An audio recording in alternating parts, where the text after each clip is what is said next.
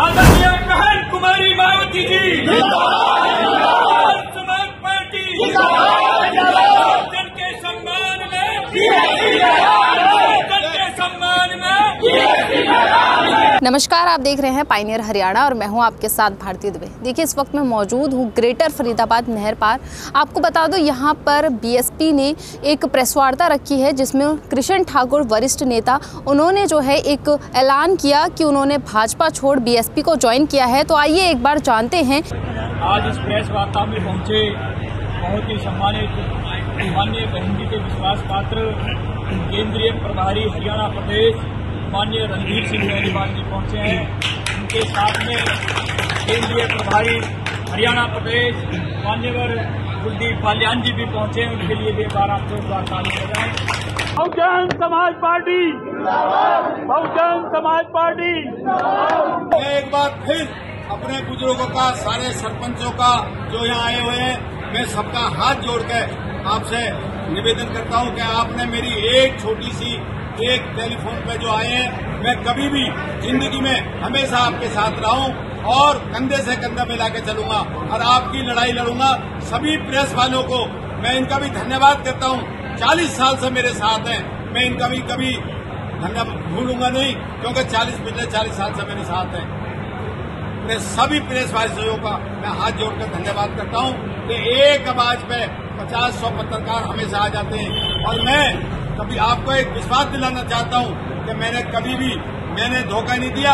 आप लोग हाथ खड़ा करके बताओ, लोगों ने मुझे धोखा दिया है। हाथ खड़े कर दो सारे। को हमने पहले बता दिया कि बहुजन समाज पार्टी ने इनको जो ज्वाइन करा रही है, बड़े वजूद के साथ करा रही है।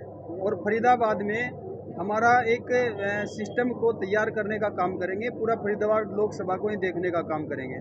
पूरे लोकसभा में प्रभारी बनाने का इनको बहन जी के आशीर्वाद से काम किया जाएगा भविष्य में भी।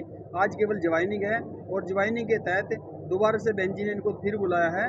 दोबारा बहन जी के यहाँ जा करके उनका आशीर्वाद प्राप्त करके लोकसभा में उतरने का काम करेंगे। है कि बहन मायावती ने आज पूरे हिंदुस्तान में और जो हमारे प्रभारी जी आए, पूरे हिंदुस्तान में गरीब मजदूर की बात अगर किसी ने उठाई है छत्तीस बिरादरी की हमेशा। तो बहन मायावती ने उठाई है।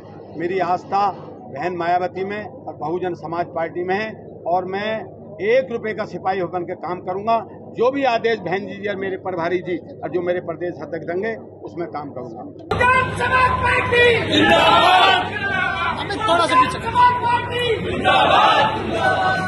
बारे में पता आप नए आदमी नहीं हो मैं नया आदमी नहीं हूँ। मैं पिछले 40 साल से राजनीति कर रहा हूँ। लोगों ने मुझे धोखा दिया है। अगर मैंने किसी को धोखा दिया तो आप हाथ खड़ा करके एक भी मेरे प्रेस के भाई बता दें। सबसे पहले मैं आपका धन्यवाद करता हूँ। पिछले 40 साल से मेरे साथ खड़े हो और मैं आपके साथ खड़ा हूँ। आप बताओ मैंने किसी को धोखा नहीं दिया लोगों ने मुझे धोखा दिया। पार्टी से क्या उम्मीद हो?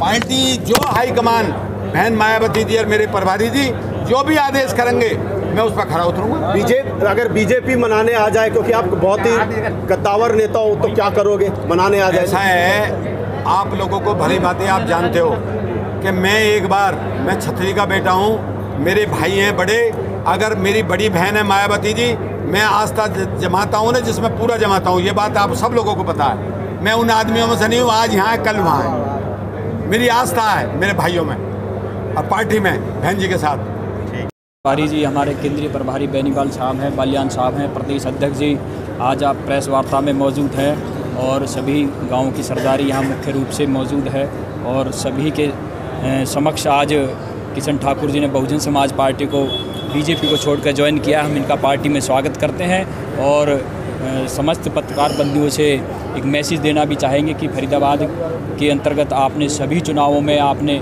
बीजेपी और कांग्रेस को देखा है। एक बार बहुजन समाज पार्टी को भी आप यहाँ पर देखने का काम करें और आपके माध्यम से एक बात और है कि बहुजन समाज पार्टी सर्वजन हिताय सर्वजन सुखाई की नीति पर काम करने वाली पार्टी है। आज सर्व समाज के लोग बहुजन समाज पार्टी में एक कार्यकर्ता की हैसियत से ज्वाइन कर रहे हैं। हम उनका स्वागत करते हैं। की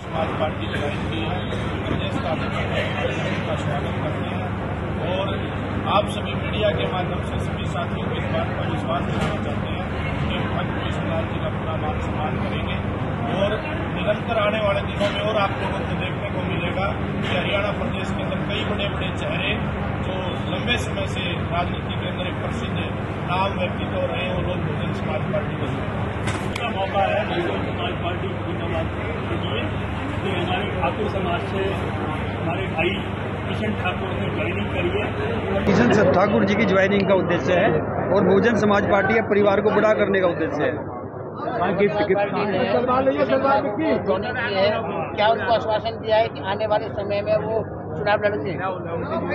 नहीं बिल्कुल जो कार्य पर आधारित होता है जिसका जैसा कार्य है वैसा ही हिस्सेदारी होती है। क्या लगता है कि किशन ठाकुर को आने से पार्टी में कुछ प्रभाव बढ़ेगा पूरा विश्वास है। हमें पूरा विश्वास है।